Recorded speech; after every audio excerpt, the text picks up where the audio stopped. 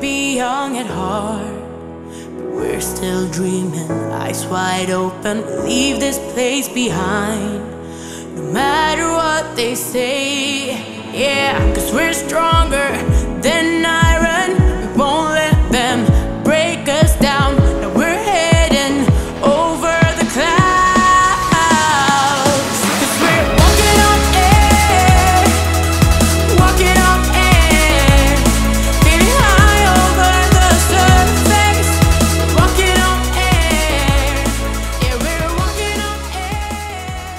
Hello, y'all. So, hey guys, it's me, David. Alright, so today's gonna be like, uh, it's not gonna be like a super project, hard stuff oriented day. So, I think okay, pretty much run out of things to project. Yeah, there's like purple and yellow, but I had a comp last night. So take it easy today. So we're gonna do like the Nikken tour of my favorite five, six, seven-ish problems that I've found this past week. So it'll be like the ones where I find not the hardest, but like the best movement, has like a fun move, has like some cool footwork shenanigans. We'll see. I actually haven't like formulated my entire ones, but I have my first three, which is gonna be on the wave behind me. The pink one I enjoyed a bunch, but you guys have already seen that. So we're gonna do the purple, the green, and the white, which I've already enjoyed, and they have something that, well, kind of like I've enjoyed climbing on and working on them. So get into it. I know you're the kind. Is there any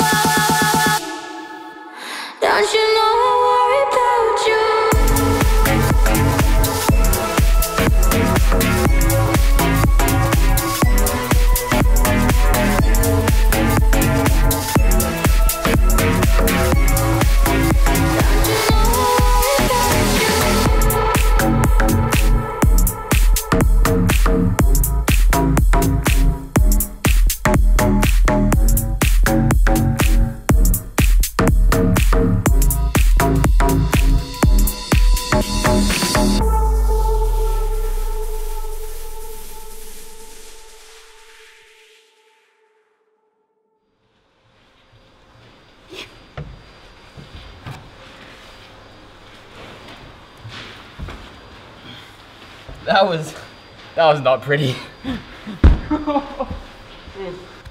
yeah.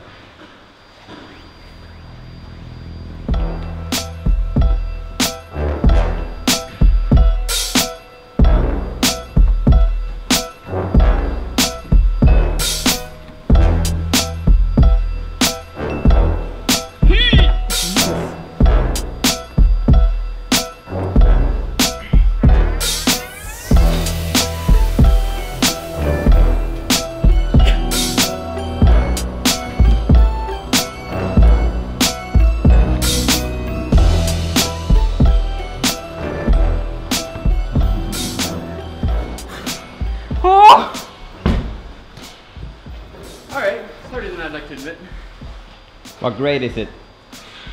That's easily like 70 plus 70. Boom, what you got? Alright, Eric. I admit, you were right. Thank you. Thank you. Thank you. Thank you. All right, started with purple, and honestly, I just love that because there's a knee bar, and knee bars are fantastic and always fun. Except I'm wearing shorts, so it's like slightly less fun that time around. And you go up to the crimp and then like ninja just catch it. It's like a superhero climbing move.